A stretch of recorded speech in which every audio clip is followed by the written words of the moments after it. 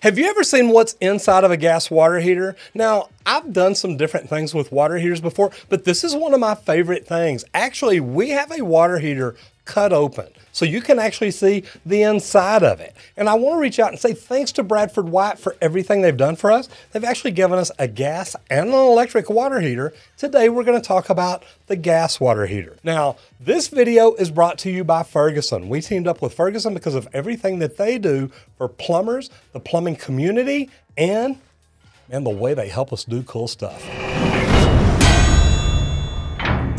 Let me know, have you ever seen inside of a natural gas water heater? And one other thing, if you're a plumbing company owner, do you put labels on them to let people know how to shut them off or how to drain them in case they have a leak? What do you do for your customers? That's something that we do on water heaters. And I just saw it on here and it made me think about it. So anyway, leave me a comment down below. What do you do? And have you ever seen inside of a water heater? Because I got to tell you, this is one of my favorite things. I was plumbing for 35 years before I'd ever seen the inside of a water heater. I hate to say that, but it's true. I actually got to go up to Grand Rapids, Michigan, go through the plant and actually see how they built these. So the people at Bradford White were phenomenal to number one, let me come up there, but to get to go through their iTech training. But to get to go through their iTech training, to get up there to learn how to work on their tankless water heaters, their natural gas water heaters, and their electric water heaters, we actually took one of their tankless, took it apart, and put it back together. And I got to tell you, They've got so much room inside their tankless that makes them easy to work on. But today, we're actually talking about the 50 gallon natural gas six year warranty water heater. And I got to tell you, this is the one that we sell more than anything that we have. Now, the neat thing is you can actually tell this is a gas water heater just by looking at it. If you're a homeowner and you're not sure if your water heater is gas or electric, and believe it or not, some people don't know. When they call and tell us their water heater's out, we ask them, is it gas or electric? They're like, well, I'm really not sure. Well, if your water heater has a flue pipe or a chimney or anything like this on the top, it's a gas water heater, meaning there's actually a burner assembly in the bottom, and we'll get to that here in a minute, but has to go out somewhere. Those fumes have to go out. That way, you don't poison the people in the house with bad gases. So the chimney on top is actually where the gas fumes come out. And you've got a cold water inlet and a hot water outlet. These, these are silver, these are dielectric nipples. And what the dielectric nipple does is it keeps electrolysis from occurring from two different type metals. That may be a little bit more information than you want to know, but it's true. What we like to do is we also like to put a union on here. That way we can disconnect this water heater, slide it out, slide a new one in in the future if we ever go back to change one. So having a union right here makes it great. That way you can actually connect and unconnect. Also another way to know which is your cold side, if you can't see the top of it, there should be a valve here on the cold water inlet side. And I have seen some plumbers that actually put a valve on the hot water outlet side. Either way, you definitely want one on the cold side. If you're changing out a water heater or installing one, we actually recommend putting a new valve on there.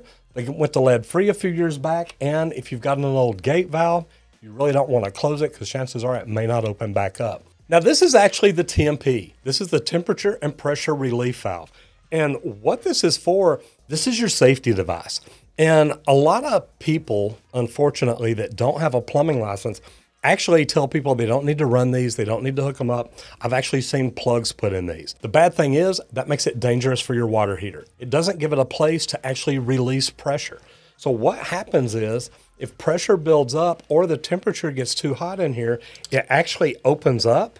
Now you can open it manually, which is what I'm doing right here, and it lets water come out here. But it's designed so if it gets too hot or there's too much pressure in there, which is what would happen if the water gets too hot in a closed system and there is no outlet, it actually pops off and lets the pressure out. That's why they're called pop off valves. The correct name is a temperature and pressure relief valve. This is something that if there's a union on it or it's something you can cut and put back together, this is something that a homeowner could change out. But to be honest, when it comes to temperature and pressure relief valves, man, I think this is something most people would want to call a plumber for. So on the inside of the water heater, I've showed you the outside, except for the control valve, but we'll get there in a little bit. This is what is unique about the cold water line too. This is your cold water dip tube. And what this actually does, this actually lets the cold water come in to the bottom of the tank. Remember, heat rises. So if this dip tube was not here or in the old style, when plumbers would just hook a female adapter up here and actually start soldering right there, the top of the dip tube would melt and drop down in there. And I know because I've heard that happen. Now they're designed where hopefully you don't do that. But what would happen then, without the dip tube, cold water would come in and it's being drawn out as hot water over here. Well, the cold water wouldn't even have time to make it to the bottom. So it would actually get drawn up on the other side. So a cold water dip tube is something you definitely need in there. The other thing that you can see right here is the flue. Now the flue is what is in the center of the pipe. Remember, you've got a burner underneath and all this heat coming up and those fumes have to go somewhere. Now this is what's in the center of the flue. And as you see, you've got these little plates on it. Now what happens is these hot fumes come up it, but whenever they hit the plates like this, it pushes them out to keep that outer wall hot. What that does, that adds more of a heating surface to the inside of your water heater. Actually, it makes it more efficient because when that flame's going, now these hot fumes coming up can actually heat up the inside of the pipe too, and that's going to make your water hot. So it's going to make it where your burner does not have to burn as long. Okay, so like I said, that goes down inside here in the center of the flue.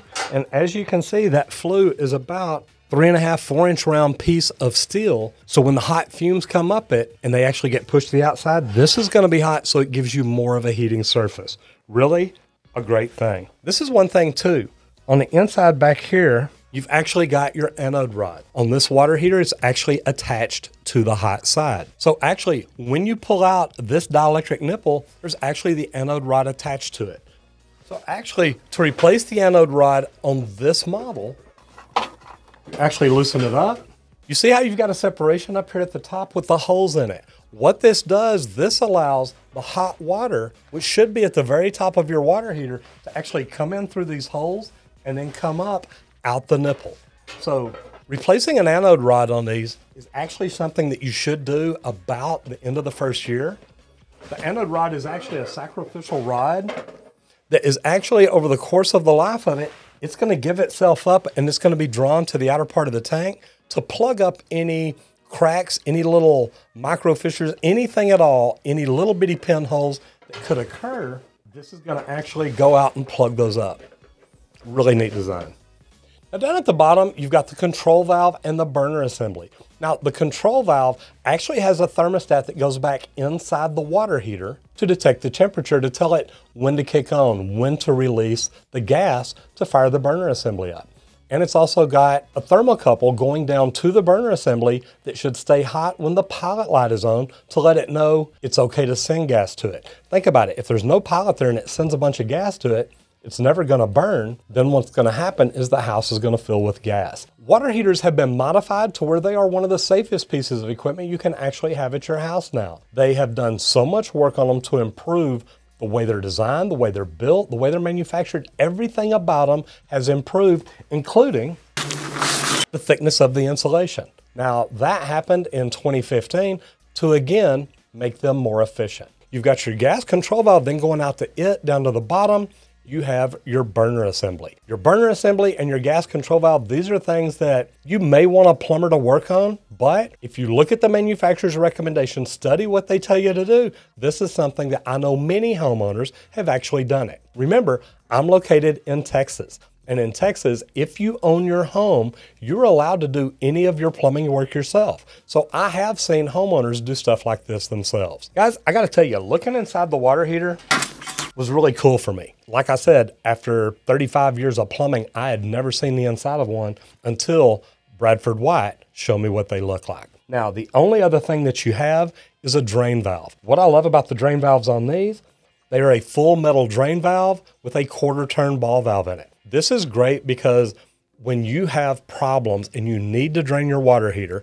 whether you've got to change a gas control valve or you're just trying to flush it, you want a valve that's going to work each and every time that you turn it on. And I got to tell you, these really do work. One thing about them too, about the quarter turn ball valve, once you turn it open, if there is sediment in the bottom, you can take something and push in there to kind of help clear it up to where you can help get all that out. I want to say thank you to the people at Ferguson for sponsoring this and allowing us to do that. You can get your Bradford White water heaters at ferguson.com. That's exactly where I get mine.